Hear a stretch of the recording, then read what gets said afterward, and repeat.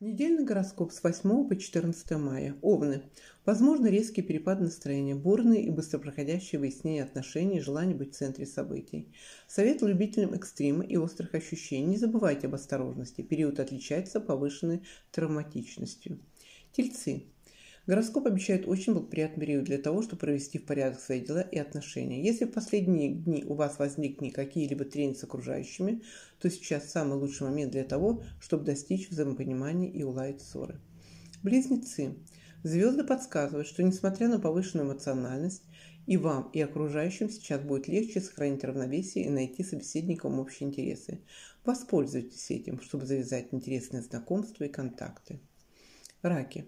В целом гороскоп на неделе очень благоприятен для реализации любых задумок. Смело переходите от слов к плану, к делу. И при этом не забывайте прислушиваться к своей интуиции.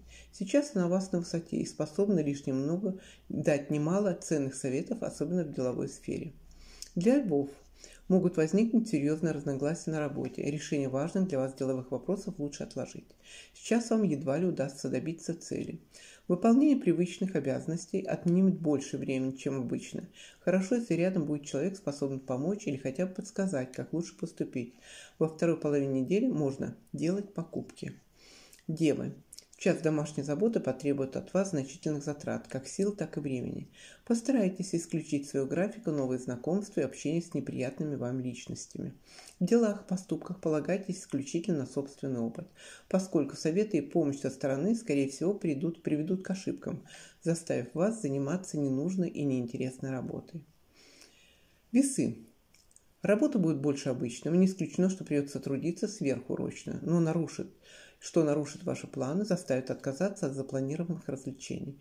Кроме того, есть шанс получить важную информацию, которая может вам, поможет вам принять правильное решение. Скорпион. Начало недели проходит, подходит для равномерной работы. Общий ритм жизни останется спокойным. В отсутствии срочных задач можно помечтать расслабиться. Если намечены дела, завершайте их до наступления текущей недели.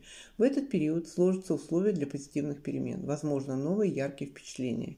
Не исключено сильные волнения в связи с домашними событиями. Стрельцы.